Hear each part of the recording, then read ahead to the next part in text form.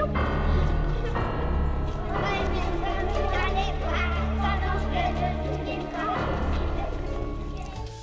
folks, it's Grimwit from NatchEvil.com. We played some role-playing games, and uh, we discovered the horrible secret to the gnomes, the pink paint.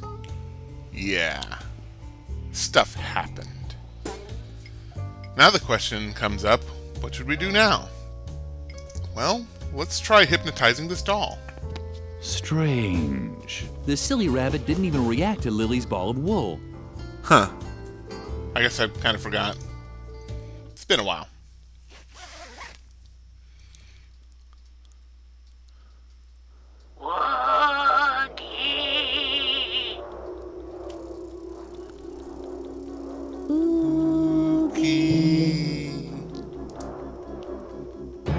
Woogie.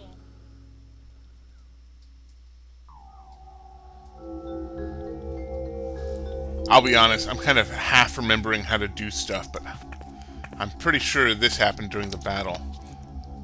The Valley of Unpleasant Memories is pretty much cursed. Oh good, an arrow. Lily was always happy when something was left over. But usually it was only breadcrumbs and bones and things like that. I think that's a reused line. Anyway, uh, I can't remember how many points I put into uh, lockpick. Uh, I know I probably leveled up, so that'll probably be enough.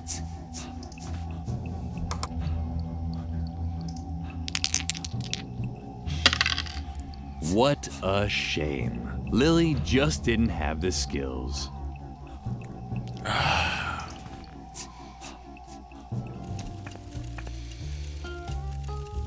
Mr. Roleplayer Guy, I need to put some s- skills into lockpick.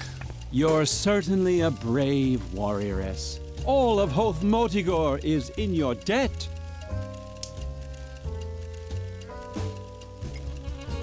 Can, can somebody give me a couple of skills or some crap? You?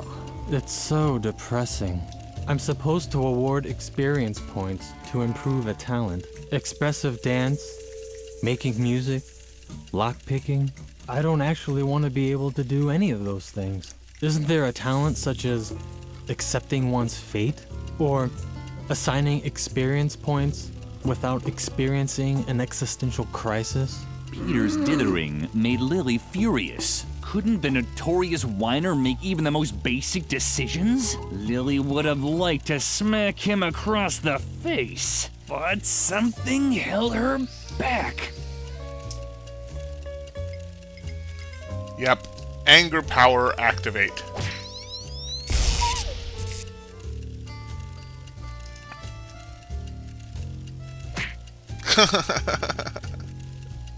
Ouch! Hmm. You're right. I'll just increase pick locks, and that's it. There. Why don't you just hold on to the character sheet? I don't want anything to do with it anymore. Hmm. Hey, what's up, Petra? That was fun! You really have to play with us again sometime. Hey, what's up, Druggle Jug? Druggle Jug? D- Are you sure, Druggle Jug? Druggle Jug? Well, I understand, but I mean, that would hurt, surely. Druggle Jug. Uh, Alright, well, I gotta go pierce my tail. Okay, now that we've got some points in lockpick, we should now be able to unlock this. It sounded crazy, but she now actually had the skill to pick locks.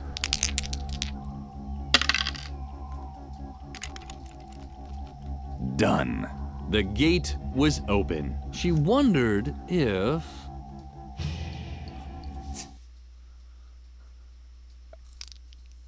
You can't be serious.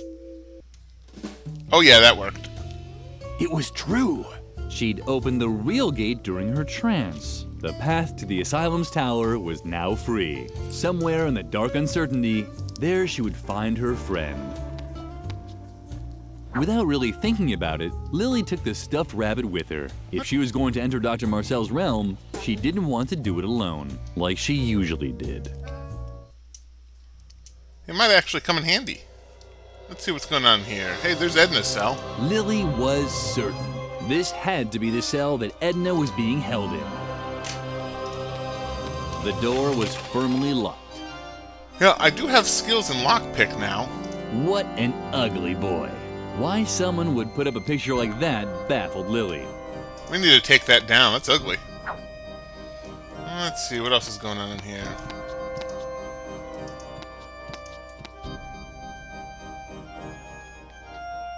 The moon wants us to know. Do not disturb. Please don't disturb. Well, Lily was an expert at that. She could stand on the sidelines for hours without anyone noticing her. Yeah, like a water girl. This had to be Dr. Marcel's office. Lily thought she heard faint, raspy breathing behind the door. We need to give this guy a piece of our mind. And possibly a knife. The neck. The door was firmly locked. I have points in lockpicking. Alright, fine. To the storage room!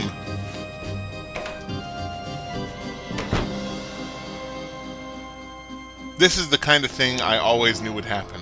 Is that a mirror? The mirror was too high, but Lily had never liked her reflection. Oh, let's grab that. We might need it. This bowling ball had a creepy expression, but not creepier than the little boys in the picture in the hallway. Okay, that is clearly Alf right there. Let's see what else can we pick up around here. Termite farm. Grab. How awkward. Lily had destroyed the termite farm. Uh, alright. The Phantom looked depressed, but Lily noticed something else. A key ring. Oh. Was that the key to Edna's cell? Surely so. How's the eye? S- sorry about that. Leave me alone. I'm a hopeless case. Father was right. Yes, you heard correctly. I'm Reuben, Dr. Marcel's secret second son, Alfred's older brother. Lily didn't know who Alfred was, but she still thought it was appropriate to catch her breath in shock. We were supposed to have the perfect upbringing. Pops thought traditional methods were inadequate. That's why he began developing his own, while Alfred responded to his practices. I developed conspicuous behavior. No. I was a failed experiment. Pops was so disappointed that he kept me in the asylum cellar, hidden from the outside world. Alfred, on the other hand, was presented as a shining example of his parenting methods. I never had a chance to make him proud of me. Since Alfred died, everything just got worse. I'm invisible to him. A ghost, a bad dream. The strange circumstances surrounding Alfred's death showed him that childishness is a disease that needs to be eradicated. I should have died back then. If I could only see my brother one more time. I never got to say goodbye to him. Oh, so- What? What? Oh, shit. Um, I was listening. Uh. Okay. The clothes rack reminded Lily of the old man from the school. Did that really happen today? Earlier on, too. Yeah. Hey, yeah, this whole thing's happened an entire day. Oh, Alfred. Oh, I still have so much Alfred. to tell you. Lily saw that she would never get the keys this way. well, we need to, uh. Do stuff. Else can we look at in here? What's this? It's a lunchbox. Somebody had left their lunchbox. That would never happen to Lily. She didn't have a lunchbox. We need to get Lily a lunchbox. If you want Lily to have a lunchbox, join Google Plus and leave a comment. Because Google Plus wants you. Your life, your soul, everything. Huh? Noteworthy. The termites scarfed all the pancakes and ate a hole through the door in the process. I just figured I'd. Huh, oh well. Who eats pancakes for lunch? Okay, well, whatever. Let's just add this uh, bowling ball here for no reason. On top of the clothes rack, the bowling ball looked like a skull. But something was missing. It did? Does that look like a skull? Oh well. Add clothes costume. Lily shuddered. Suddenly, there was a ghost in the storeroom. What's that? A ghost? A good hey, ghost. listen here. If anybody's gonna do any haunting here, it's me. Beat it. If you see Alfred, tell him to haunt round this way sometime. I never got to say goodbye to him. You'll be able to yourself. Okay. Well, I guess we'll just put that over here then. On this hook. Hanging up the portrait of the ugly boy there would certainly be spooky. But something was missing. Okay. So many hooks and things to hang on hooks. This isn't that difficult a puzzle, it's just complicated. There we go. Mirror on the door. Hole through the door. Hole through the door shines moonlight from the mirror onto this ghost thingy. Can you imagine reading this in a book and trying and the author trying to describe it to you? What's that? A ghost? Hey, listen here. If anyone's gonna be haunting around here, then. Wait, wait a minute. Alfred? Alfred! It's really you. I. I can't believe it. Me either. Oh, Alfred. I never got to say goodbye. and I have so much I still want to tell you. Where to begin? Oh, yeah. I know. You lousy, dirty toad! Because of you, I've lived my whole life in a stinking sewer. Just you wait. That's right, get it all out, mister. Yoink.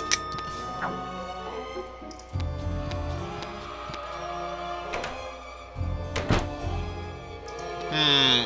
Well, there's Dr. Marcel, but we need to help Edna, like now and stuff.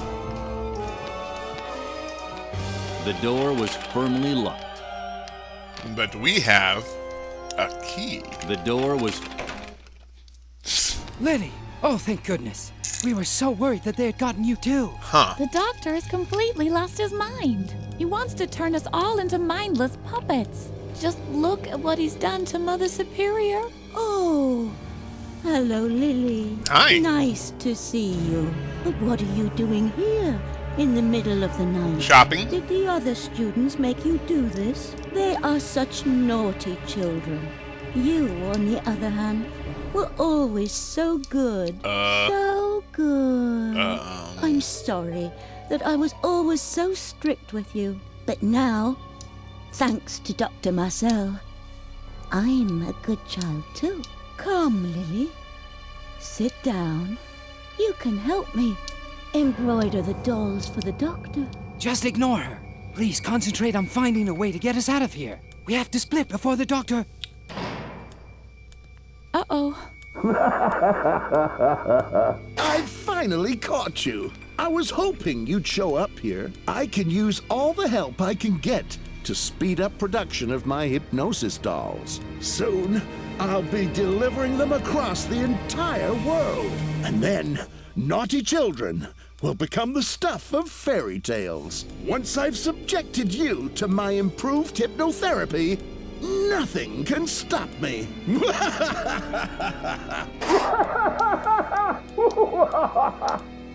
I, oh. ah. Isn't this how the first game started? Lily was trapped. There's a seam there. The upholstery was torn. What had happened here? No kidding. Hi, Mother Superior. It appeared that Mother Superior was under the influence of Dr. Marcel's hypnosis. That means she wouldn't be much help. Lily caught herself wishing the old, strict Mother Superior was back. Let's talk to old Mother Superior. Um, come, Lily. Sit down. You can help me embroider the dolls for the doctor.